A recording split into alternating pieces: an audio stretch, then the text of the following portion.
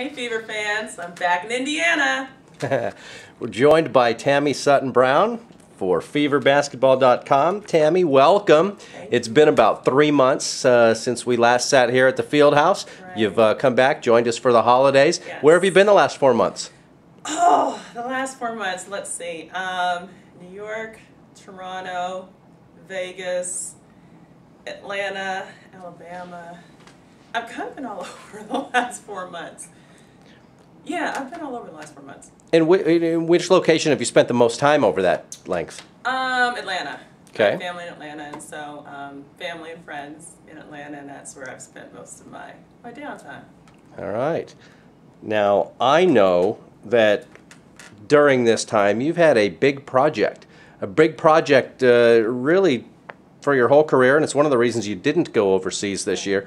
Um, talk to us about that project and tell us exactly who are Cree and Scooter. Cree And scooter. Um, I've always, always wanted to work with kids in, in one way or another, and um, I'd say probably about two years ago I was overseas, and, and my juice, my creative juices start flowing when I'm overseas and have a lot of time. So um, I was thinking about writing a children's book. And so this whole concept came about, um, Little Girl. It's kind of based off of my life, kind of, sort of, just me traveling the world and, and being able to see all these different places, cultures, um, experience different languages, people, and all that, et cetera, et cetera. So it's, it's a story based on this little girl who, in her dreams, her, her stuffed toy chameleon comes to life, and, and they take all these different adventures and travel around the world. And so it's somewhat educational, but it's an engaging story, so the kids, basically between, I want to say, about four to six, won't really know that they're being educated, but um, learn a few languages, um, travel with these, these characters um, to all these different countries and see different things. And um, it, it's been something fun. It's been a fun project that I've been working on. Mind you, I didn't think it was going to be as much work as it is, but it, it's been really good. How much time did it actually take to do the writing? How many drafts did you have to forego, undergo? That's a good question because I'm actually still tweaking and um, even did a, a, a book fair and um, got a lot of feedback from librarians and, and teachers and, and some of the kids that we've read the book to. Um, and so there, it's a long process because I want this book to be really good when I come out with it. I just don't want to push something out. So Do you envision this perhaps being a series one day if it has success? I, I do. I do envision it to, you know, be a, a couple books, if not many books. So yes, that is the, the long-term vision. So after we read about Tammy Sutton Brown, basketball all-star, world traveler, we're going to add children's author to that title. Just that author. Just add author. There you go. Yeah. All right.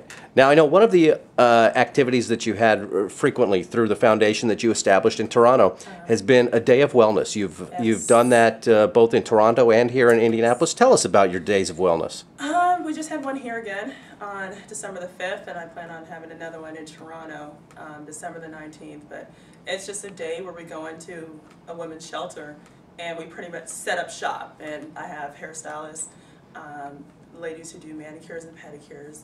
Um, and, and I actually have someone coming in to Toronto who's actually going to do makeup. So it's it's a whole day. It's kind of like a we try to turn it into a, like a mini beauty salon.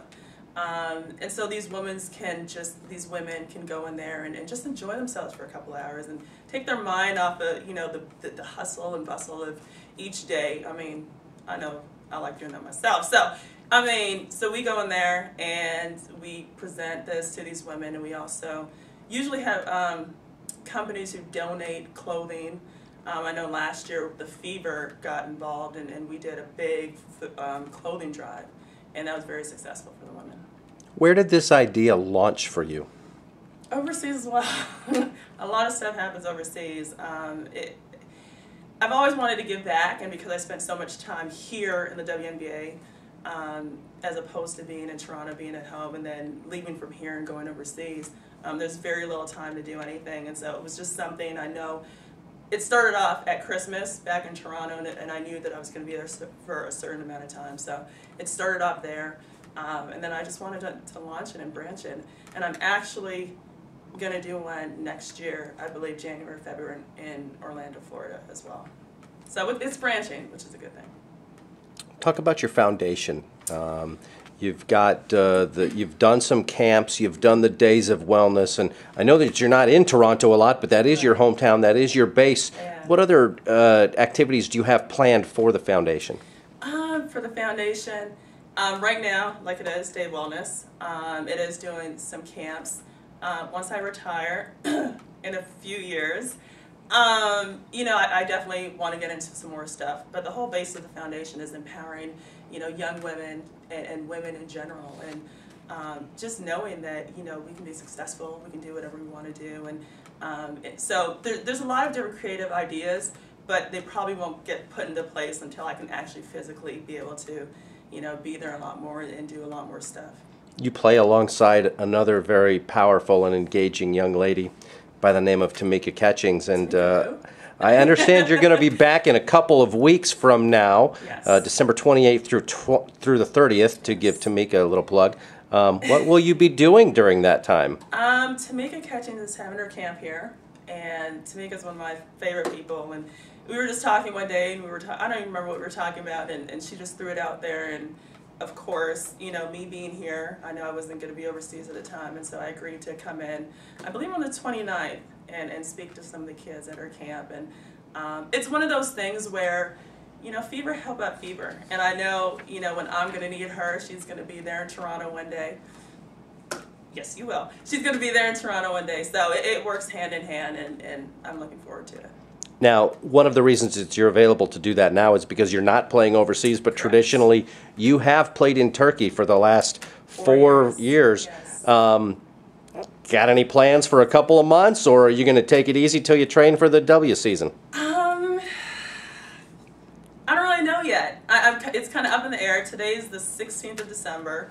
Um, I know there's always teams looking for players after Christmas, after the New Year. So um, I'm sure my agent will give me a call in the next few weeks, and, and we'll we'll see what happens, and then I'll decide. I mean, either way, I'll be fine. Um, looking forward to get back during the summer though to see you guys on the court. And if you're not overseas, any plans to be back here for the Final Four here at Conseco Fieldhouse? If I'm not overseas, I'll be here. All right. And you're hoping that uh, Rutgers might make the Final Four this year? All right. Tammy Sutton Brown, we want to thank you for joining us. Any holiday wishes for the Fever fans? Um, wishing everybody happy holidays, Merry Christmas, enjoy with your family, and um, yeah, just enjoy with your family. It's it's family time, you know. I, as soon as I leave here, I'm heading back to mine in Toronto. So. Merry Christmas, Tammy. Thank you. Thank you.